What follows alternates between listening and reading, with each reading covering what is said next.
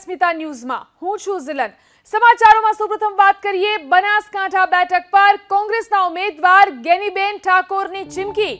અમીરગઢમાં ક્ષત્રિય સમાજમાં બનાસ ડેરી પર પ્રહાર કરતા ગેનીબેને ભગતસિંહ વાળી કરવાની ચીમકી આપી. તેમણે આરોપ લગાવ્યો કે ડેરીના લોકો સુપરવાઇઝર કરવા આવશે.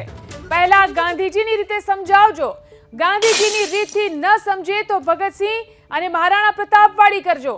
સાથે જ ભાજપ પાસે હવે ખોટું કર્યા સિવાય કોઈ રસ્તા ન હોવાનો આરોપ લગાવતા કહ્યું કે મતદાનના દિવસે મોક પોલિંગમાં પચાસ પચાસ મત નાખી દેશે. દરેક બૂથમાં ભાજપ વાળા પચાસ પચાસ મત નાખી એક લાખની લીડ લેશે. પરંતુ કોંગ્રેસના એજન્ટો આવું ન થાય તેનું ખાસ ધ્યાન રાખે. અને ઓલા બેંક ને ડેરિયા વાળા ગામની અંદર સુપરવાઇઝરો કા બધા આવે ને, તો થોડીક આપણી પેલા લાગણીથી પેલું ગાંધીજી વાળું આપણે બધા ગાંધીજીને માનવા વાળા એટલે પેલું ગાંધીજી વાળું અને પછી ના માને તો ભગતસિંહ કે મહારાણા પ્રતાપ, એવું ક્યાં કરવું હોય ને તો આડકતી રીતે આપણે કોઈને કઈ કરવું નથી. કોઈ હિંસા નથી કરવી. પણ આપણી આંખ ઉપર એને ખબર પડી જાવી જોઈએ કે આ ગામની હવે મારે પગ મૂકવાની જગ્યા નથી. ખાલી સામે જોવાનું. અને જોવાનો ઈશારો એક જાગીરદાર તરીકેનો હોય, તો અહીંયા ઊભી પૂછડીએ ના ભાગે તો મને તમે કહેજો. હવે આમની પાસે ખોટું કરવા સિવાય બીજું આ ચૂંટણી જીતવા માટે એમનો કોઈ પણ સ્કોપ વધ્યો નથી. એ સાડા પાંચ વાગે, છ વાગે જે મોક થાય. એ મોક પોલની અંદર હો કે પચાસ બટન એ ભારતીય જનતા પાર્ટીના ના દબાઈ દે, એની જવાબદારી આપ છે. અને જો એ એક બૂથ ઉપર એ પચાસ પચાસ વોટ ખોટા કરવામાં સફળ થયા, તો બનાસકાંઠાના વીસ, લગભગ બે હજાર બે હજાર બૂથ છે. એટલે પચાસ પ્રમાણે ખોટું કરે તો એક લાખ વોટ. જે આપણા છે, એ સામે થાય. તો એક લાખની ગેપ પડે. એટલે આ પ્રમાણે થોડી જવાબદારી બૂથ એજન્ટોને કડકાઈ રીતે આપવા માટેની આપ સૌની થાય છે અને એટલું કરશો. તો ગેનીબેનના વાર પર ભાજપે પલટવાર કર્યો. ભાજપ વિચારધારાની પાર્ટી છે. જનતા ભાજપની સાથે છે. વિપક્ષના લોકો ખોટી વાત કરે છે. ભાજપ તરફથી આ પ્રતિક્રિયા અત્યાર સુધી મોક પોલિંગ જેવી કોઈ ઘટના બની નથી, તેવું પણ ભાજપ તરફથી કહેવામાં આવ્યું છે. ડેરીના લોકોને એમનું કામ કરવાનું છે. ગેનીબેને કરેલા આરોપો વાહિયાત છે. ગેનીબેનને હરાવવાના છે એટલે ટીકરું ફોડવાનું કારણ શોધે છે તેવી પણ વાત ભાજપ તરફથી કરવામાં આવી છે. કોંગ્રેસ જાતિવાદી અને સમાજ સમાજ વચ્ચે ઝઘડા કરાવવા માંગે છે તેવો પલટવાર પણ ભાજપે કર્યો. ગેનીબેન જે ભારતીય રાષ્ટ્રીય કોંગ્રેસના બનાસકાંઠા લોકસભાના ઉમેદવાર છે, તેમના દ્વારા ક્ષત્રિય સંમેલનની અંદર જે નિવેદન આપવામાં આવ્યું તેને લઈ અને જે અહીંના ધારાસભ્ય છે, માવજીભાઈ, તેમની સાથે વાત કરીએ. માવજીભાઈ, ગેનીબેન એવું કહે છે કે ડેરીના લોકો આવશે, સુપરવાઇઝર આવશે, તો એને પહેલાં ગાંધીજીની જેમ સમજાવજો. ન સમજે તો પછી ભગતસિંહ અને મહારાણા પ્રતાપની જેમ. ભારતીય જનતા પાર્ટી એક વિચારધારાની પાર્ટી છે.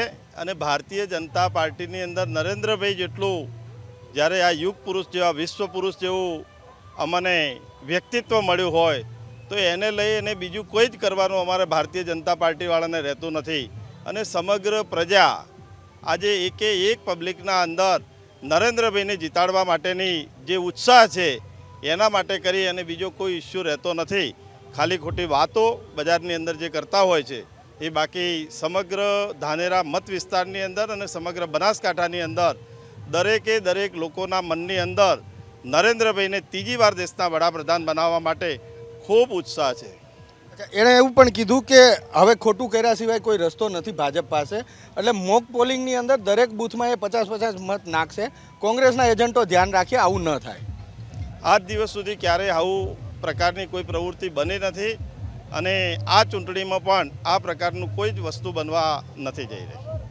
અહીંયા ધાનેરાના પૂર્વ ધારાસભ્ય પણ છે. તેમની સાથે પણ વાત કરીએ કે એમનું શું કહેવું છે શું માને છે? ગેનીબેને એવું કીધું લોકોને ક્ષત્રિય સંમેલનની અંદર કે ડેરીના લોકો આવશે ડેરીના સુપરવાઇઝર આવશે. પહેલાં ગાંધીજીની જેમ સમજાવજો. ન સમજે તો પછી ભગતસિંહની જેમ અને મહારાણા પ્રતાપની જેમ સમજાવજો. પણ ડેરીના સુપરવાઇઝરો તો એમનું જે ડ્યુટી છે એ કામ કરવાનું છે. એમને ચૂંટણીનું કામ માટે કોઈ આવવાનું જ નથી. એટલે જે આક્ષેપ કર્યો છે એ વાહિયાત છે. કેમ આવું કીધું હશે એ ડેરી તો એમને પૂછો કેમ આવું કહ્યું. બાકી એ વાતમાં અમે કશું માનતા નથી ને હું ડેરીના સુપરવાઇઝરો એમનું કામ કરવાના છે. કોઈ ચૂંટણીના પ્રચારમાં થોડા ડેરીના સુપરવાઇઝરો જવાના છે. નથી જવાના. ગેનીબેને એવું કીધું કોંગ્રેસના એજન્ટો ધ્યાન રાખે મોક પોલિંગમાં ભાજપ પચાસ પચાસ મત નાખી દેશે દરેક બૂથમાં. ભાજપ કેટલા વર્ષથી ગુજરાતમાં છે?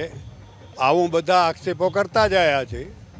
બાકી લોકો મત આપે છે અને ચૂંટાઈને આવે છે સરકાર.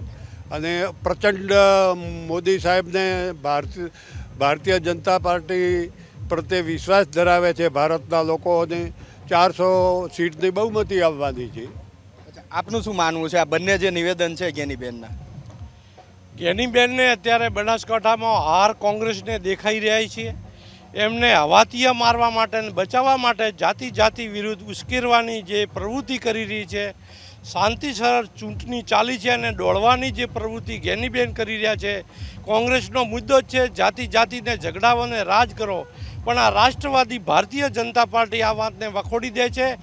સમગ્ર જનતાને સાથે લઈને ચાલવાવાળી ભારતીય જનતા પાર્ટી આ ભારતના ત્રીજી વખતના વડાપ્રધાન નરેન્દ્રભાઈ મોદી બનવાના છે અને બનાસકાંઠાની જીત જંગી બહુમતીથી રેખાબેન ચૌધરી જીતવાના છે. એટલે તમામ એમના જે આક્ષેપો છે, વાહિયાત અને પાયા વિહોણા છે. આપ શું માનો છો બંને આક્ષેપને લઈને? બનાસકાંઠાની પ્રજાએ આદરણીય નરેન્દ્રભાઈ મોદી સાહેબને ત્રીજી વખત વડાપ્રધાન બનાવવા માટેનું અહીંયાથી કમળ મૂકવાનું સો નક્કી કરી દીધું છે. એ વાતને જ્ઞાનીબેનને ખબર પડી છે કે બનાસકાંઠાની પ્રજા એ છેતરાવાની નથી. એટલા માટે હમણાંથી એ હારવાના છે, એ પ્રથમ ભૂમિકા હમણાંથી બોધી રહ્યા છે કે કઈ રીતે હારનો ટોપલો કોઈના ઉપર ઢોળવો એના માટેના આક્ષેપો છે. બાકી પ્રજાએ જાણી લીધું છે અને પ્રજાએ મન મક્કમ બનાવી લીધું છે. ખૂબ આભાર. તો ભારતીય જનતા પાર્ટીના જે આગેવાનો છે એ કહી રહ્યા છે કે હાર ભાળી ગયા છે. હવે હારનું ઠીકરું કોના ઉપર ફોડવું તેને લઈ અને આ નિવેદન કરી રહ્યા છે. કેમેરામેન કરણ પ્રજાપતિ સાથે હિરેન રાજગુરુ એબીપી અસ્મિતા, બનાસકાંઠા.